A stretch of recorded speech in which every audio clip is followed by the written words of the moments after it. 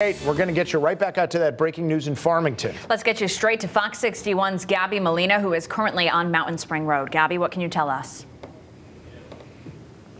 Tim Ashley, we just got here to the area of 80 Mountain Spring Road, and I want to give you a look at what we can see right now. So it's not clear exactly what's happening, but take a look. This is 80 Mountain Spring Road, this house here, and you can see that there's a lot of unmarked vehicles in the driveway. We did get a glimpse of some people in the backyard. Looks like there is some type of investigation happening here. From what we can see, there is uh, what looks like there was a for sale sign at this house and another uh, for sale sign that showed that there was an open house here at this home. It's not clear exactly what's going on here. We did see one Farmington police car parked at the end of the road, uh, no lights or sirens on, and then earlier, there was another marked Farmington police car right in front of this home, but they have since taken off. So again, we can see uh, more than 10 cars parked in the driveway of this home. It appears there's some sort of investigation happening here. We're working hard to get you more information about exactly what's happening.